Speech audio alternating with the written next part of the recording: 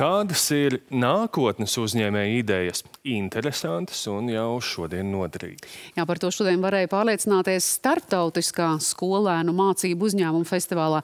Ko klientiem piedāvā jaunie un arī uzņēmīgie? Par to Vita Anstrate.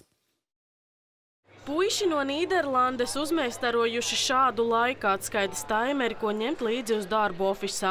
To var uzlādēt līdzīgi kā mobilo telefonu un iestādīt laiku, piemēram, uz 90 minūtēm, lai koncentrētos kāda konkrēta darba izpildē, vai uz īsāku laiku, ko veltīt, piemēram, ēpastiem. So we'll show red, Tikmēr spīdēs sarkanā gaisma, bet, kad laiks beigsies, tad iedegsies zaļā gaisma. Un cilvēki jūsu darba telpā skaidri redzēs, ka var nākt pie jums, ka var runāt ar jums. Taču, kamēr deg sarkanā gaisma, jūs neesat pieejams. Uh. Ideja radās viņa mammai. Viņa strādā veselības jomā. Viņai ir ļoti daudz klientu un reizēm ir grūtības ar laika plānošanu.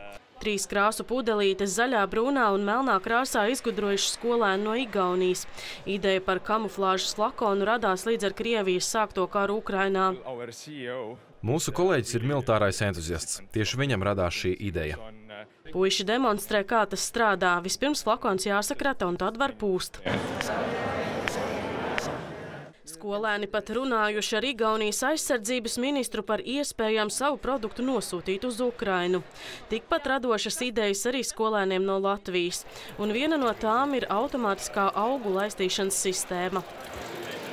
Mums ir uh, ūdens konteineris un uh, auga tāds uh, konteineris. Tātad mēs iestatot telefona aplikācijā laistīšanas biežumu un izlaistā ūdens daudzumu, mēs varam automātiski aplaistīt puķu podu. Šis ir tas mūsu pirmais prototyps, ko izveidojam, kas, ir, kas strādā uz vadu. Mums arī ir jaunākais modelis, kurš jau ir uz baterijām. Un šeit arī var redzēt mikroshēmu, kā arī, kas kā darbina visu to lielo puķu.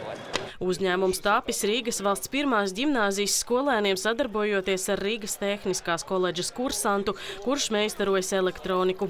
Bet skolēnu radītā mobilā lietotne arī atgādinās, kad būs beidzies ūdens laistīšanai. Vita Anstrate, Olafs Perševits, Latvijas televīzija.